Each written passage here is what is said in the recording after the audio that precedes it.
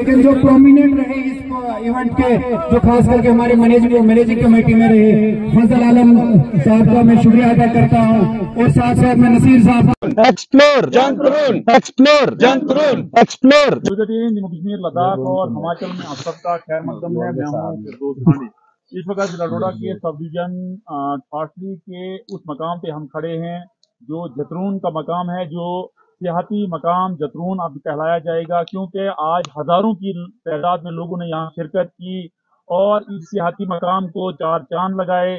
आप हमारे पीछे देख रहे हो, ये सिविल सोसाइटी ठाठरी और कारा के लोग हैं।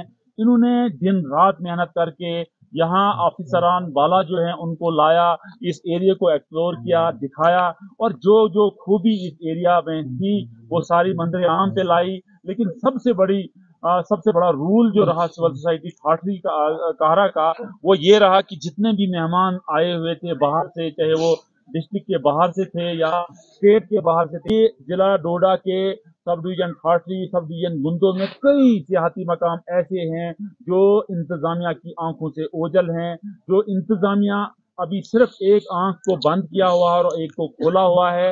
इन एरियाज़ को एक्सप्लोर करने के लिए इंतजामिया को अब आगे आना चाहिए। हमारे साथ सोसाइटी के कुछ लोग हैं, आसिफ इकबाल भट्ट हैं। आसिफ इकबाल, भट्ट जो हैं, ये चीफ पैटर्न भी बताए जाते हैं इस प्रोग्राम के थे। आज सब क्या कहना चाहोगे? इतना बड़ा प्रोग्राम हुआ और ऐसा लगता है कि अनएक्सपेक्टेड क्रोड यहाँ आया। और बीच में हमने जो लॉ इन्फोर्समेंट एजेंसीज थी उसको बताया कि कहीं यहाँ स्टैम्पैड ना हो जाए। इतने लोग थे। आपकी मेहरबानी से राजेंद्र सर की मेहरबानी से और जितने भी हमारे ये यूथ है इन इनकी कॉलिब्रेशन से जो प्रोग्राम हुआ वाकई जो है हम आपको आप, आपकी तारीफ़ भी करते हैं दा, दाद भी देते हैं और दीद भी देते हैं। क्या कहना चाहोगे आप? फिर दोस्त साहब, सबसे पहले आपका और आपके चैनल का बहुत बहुत शुक्रिया कि आप तकरीबन आधा से एक किलोमीटर का सफ़र पैदल करके जंतरून धार में आए और हमारी इस आवाज़ को अपने व्यूवर्स तक और एडमिनिस्ट्रेशन तक पहुँचाने का काम किया। इसके लिए आपको बहुत बहुत शुक्रिया। फिर दोस्त साहब, जिस तरीके से मैं आपको बताता चलूँ कि रिसेंटली एक, हमारी सिविल सोसाइटी ने एक स्टेप लिया कि जंतरून दहार जो है एक बहुत ही अच्छी मीडो है। इसको एक्सप्लोर करने का कुछ इनिशिएटिव लिया जाए तो एक पूरी हमारी पर्टिकुलरली पहले सब सब हमारी जो कारा की सिविल सोसाइटी थी, उसने इस ये इनिशिएटिव लिया। बाद में जब हमने देखा कि पूरे सब डिवीज़न के लोगों ने हमें भरपूर ताउन दिया इसमें तो बाद में इस प्रोग्राम को हमने पूरे सब डिवीज़न लेवल पे ले लिया।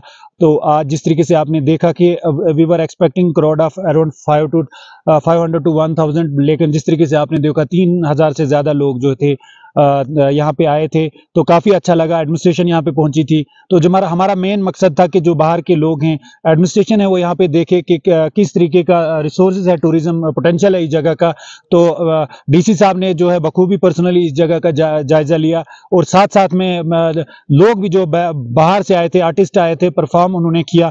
तो बहुत अच्छा लगा कि इस जगह को सही तरीके से जो हम अब सोशल मीडिया का इस्तेमाल करके हमने कोशिश की थी लोगों तक मैसेज पहुँचाने का, वो हम कहीं ना कहीं हम समझते हैं कि वो हम कामयाब हो गए वो मैसेज पहुँच गया है और एडमिनिस्ट्रेशन का भी काफ़ी पॉजिटिव रिस्पॉन्स आया। डीसी साहब ने खुद जायजा लिया और जो बेसिक इंफ्रास्ट्रक्चर है आई एम एक्सपेक्टिंग कि अगले साल जब स्नो फेस्टिवल होगा, यहाँ प्रॉपर रोड कनेक्टिविटी होगी और जो भी बेसिक कम्युनिटीज़ हैं, वो टूरिज़्म के लिए वो यहाँ पे होंगी। मैं आपकी वसासत से जितने भी पार्टिसिपेंट यहाँ पे पहुँचे, उनका शुक्रिया अदा करता हूँ और साथ में जितने भी लोग यहाँ पे पहुँचे, उनका भी शुक्रिया अदा करता हूँ। तो जिस तरीके से आपने देखा कि अगर अगर गवर्नमेंट एजेंसी भी इस इतने बड़े इवेंट को करते तो उनको भी जो है मैनेजमेंट में काफ़ी दिक्कत आती।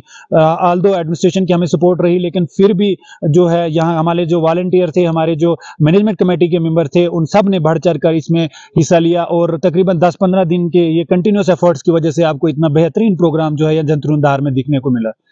राजेंद्र जी का जब भी हम सुनते हैं जहाँ भी सिविल सोसाइटी जो है आ, कोई प्रोग्राम करती है वहाँ राजेंद्र जी का हाथ है और एक कंट्रीब्यूशन है आज के प्रोग्राम में राजेंद्र जी का। राजेंद्र जी इतना एफर्ट्स आप करते हो कि तारीफ़ करनी पड़ेगी आपकी। क्या कहना चाहोगे?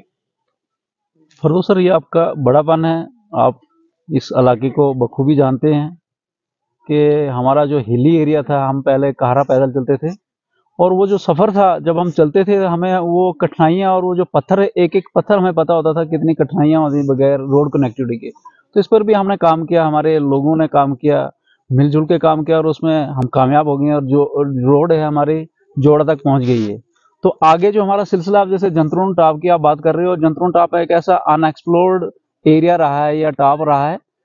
टूरिज़्म पॉइंट से ये अगर इसको टूरिज़्म मैप पे लाया जाए तो ये वन ऑफ़ दी स्टेट का one of the leading leading destiny हो सकती है स्टेट की।